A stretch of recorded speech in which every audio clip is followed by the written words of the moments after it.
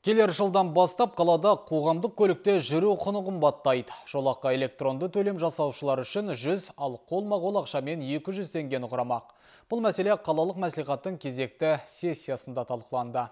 Қолданыстағы тариф құны 80 теңге жолақы бағасы соңғы екі жыл бойы көтерілмеген. Жолаушы тасымалдаушы кәсіпорындар түскен қаржының автобус паркін жаңартуға, жанар жағармай төлемі қызметкерлердің жалақысы сынды шығындарды жаппайтын алға тартып, жолақыны көтеруді бірнеше мәрте сұраған еді. Автобус парктеріне бюджеттен төленетін 5,2 миллиард теңге субсидияда мәселені толық шешпейді. Сондықтан тасымалдаушы тарап қоғамдық көліктегі жолақыны 150 теңгеге дейін көтеруді ұсынуда. Нами были подготовлены расчеты Тарифті 100-120 немесе 150 теңгеге көтеруді жоспарладық. Бұл мәселені бірнеше рет талқылап, жолақысын 100 теңге көлемінде бекітуді ұсынамыз. Қалған қаржыны қалалық немесе облыстық бюджеттен қарастырамыз.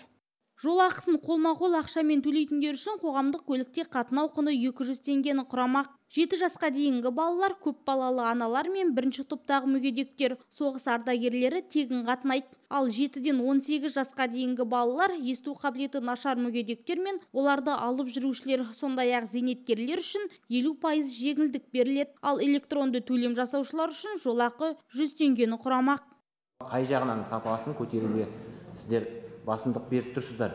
Осы күнгі дейінгі мен кейінгі қандай айырмашылық? Себебі мен айтайын ә, мен бірінші округ зашаған ә, кентінің депутатымын.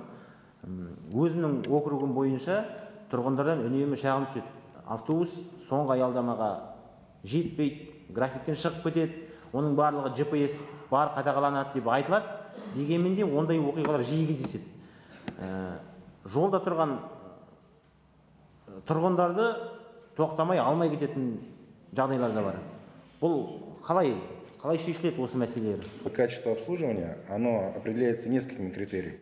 Қызмет сапасына техниканың жай-күйі, қозғалыс уақыты аралығының жиілігі сынды көп нәрсе әсер етеді. Бұл мәселелерді шешуге тырысып жатырмыз. Автобустардың желіге шықпай қалатынын білем. Бұл жағдайдың да алдын алу үшін жұмыс жүргізіліп жатыр. Ең үлкен мәселе көлік жүргізушілердің тапшылығы. Әр автобус паркінде он шақты автобус жүргізуші жоқтығынан желіге шықпай бос тұр. Алда жүргізушілердің еңбек ақысын өсіріп, оқыту да жоспарда бар. Тарифті 100 теңгеге көтеру барлық мәселені шешпейді, бірақ кәсіпкерлерден өз жұмысын адал атқаруды талап етеміз. Сессия отырысында қалалық мәслихаттың биыл атқарған жұмысы қорытындыланды. Жалпы жыл бойы депутаттар сайлаушылармен түрлі форматтағы кездесу өткізіп, әлеуметтік мәселелерді билікке жеткізген. Мыңнан аса депутаттық сауал жолданған.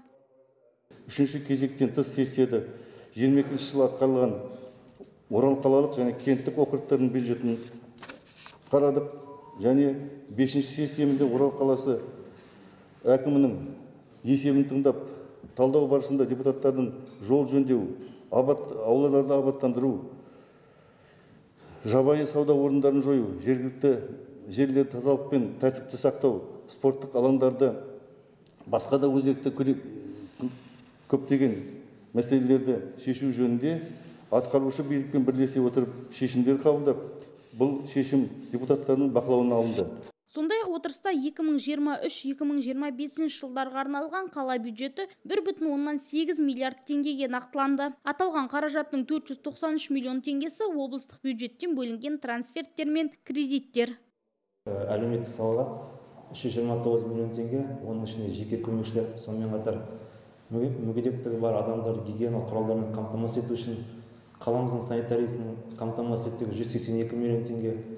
Орал қаласын абаттандыру және көгалдандыруға алпыс миллион теңге әлеуметтік маңызы бар қатынастар бойынша жолаушылар тасымалын субсидиялауға төрт жүз он алты миллион теңге мемлекеттік органдардың ағымдағы шығыстарына тоқсан тоғыз миллион теңге сонымен қатар төртінші деңгейдегі бюджетте кенттердің бюджеттеріне қырық бес миллион теңге сомасында трансферттер қарастырылған. Соңғы нақтылаулардан соң орал қаласының бюджеті алпыс бес бүтін оннан бес миллиард теңгені құрап отыр.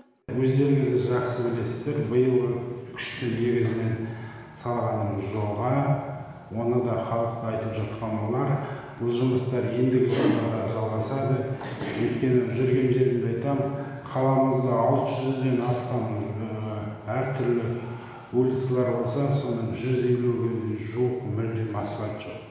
Әрине оны біз бір жылда реттей алмаймыз бірақ біздің жоспарымыз осы алдағы үш төрт жылдың ішінде негізгі бүкіл шағын аудандарда қаланың ортасында халқымыз сұрап жүрген бүкіл жолдарды реттеу оған асфальт салу сондықтан біздің бюджетіміз осы бағытта.